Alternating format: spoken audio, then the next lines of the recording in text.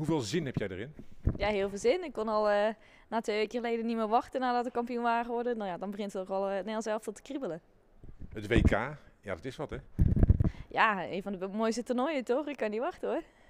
Hoe bereid je je nou voor? Heb je van tevoren al nagedacht van nou, eh, zo ga ik mezelf prepareren voor dat wereldkampioenschap? Nou, ik had eerst een weekje vakantie, rust. Uh, en toen dacht ik, nou, dan ga ik weer volle bak. Maar ik denk toch dat ik even langzaam erin moet komen. En dan, uh, ja, gewoon hoe dichterbij het komt, hoe meer uh, de focus erop gaat natuurlijk. Um, nou ja, gewoon vooral de rust houden, denk ik. Ja, belangrijk denk ik hè. Je hebt het Arsenal natuurlijk een fantastisch jaar terug, kampioen geworden. Ja, ik kan me voorstellen dat het ook wel wat vermoeidheid zit na zo'n seizoen.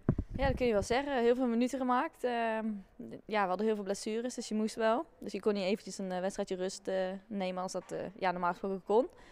Dus ja, het was erg zwaar, maar ja, ja ontzettend leuk seizoen gedraaid. Maar hoe raak je die vermoeidheid die toch een beetje in zit, hoe raak je die kwijt voor het, voor het WK? Nou, dat weekje rust heeft me heel veel goed gedaan. De, ja, het is echt gewoon heel fijn dat je die ruimte krijgt om even rust te krijgen.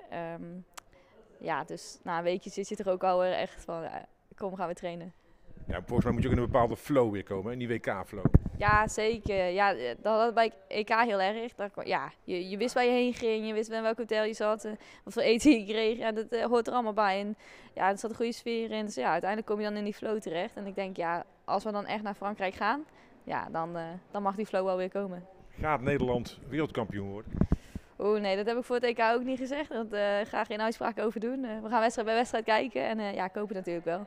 Maar wat kan dit een topjaar voor jou worden? Kampioen uh, in Engeland. Ja, en hopelijk ja, zo goed mogelijk bij het WK.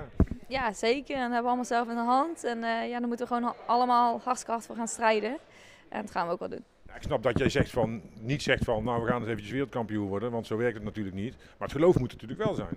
Ja, tuurlijk. Dat is er altijd wel. En daarvoor ben je ook topsporter, denk ik. Dus ik denk dat elk individu dat er natuurlijk wel in zijn achterhoofd is zitten.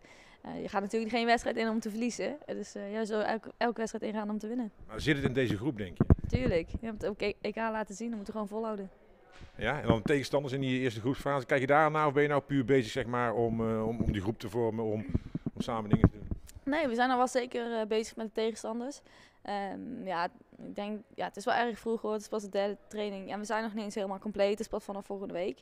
Maar ik denk wel dat vanaf volgende week echt specifieke dingen aangehaald worden en uh, specifiek getraind wordt. Ja, conditie hoef je niet meer te trainen, hè? Nee, dat denk ik niet, nee. dat zou niet goed zitten. nee, precies. Spreek jij Frans? Nee, geen woord. Ja, alles wordt geregeld voor je. Uh, precies, ik blijf gewoon bij iemand lopen die dat wel kan. En die kan dan alles voor mij doen.